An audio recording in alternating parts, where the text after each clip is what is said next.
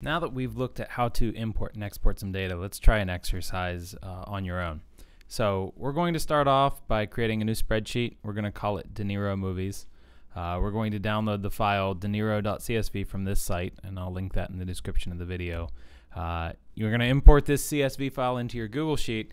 Uh, using the defaults, you can have it automatically pick up the delimiter, but select Replace Spreadsheet from Import Action so you don't have to create a new one.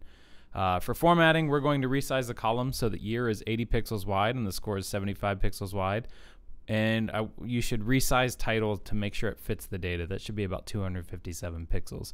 Uh, we'll make the headers bold, italic, 11 point open sans font.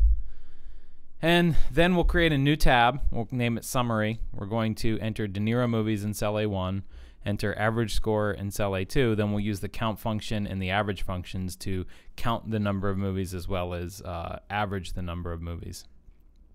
Uh, you'll have to use those to refer to the original De Niro sheet.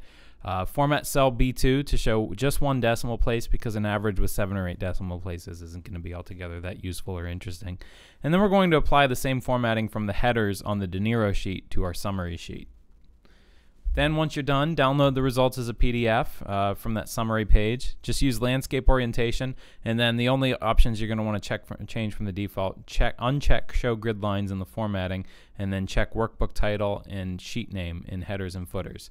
So you should end up with something that looks very much like this once you have your PDF. Just the the workbook, the whole workbook name, the tab name or the sheet name, and then you can see without the grid lines, uh, we have that nice kind of presentation. There are 87 movies in our report, and the average score of the movies is 58.2.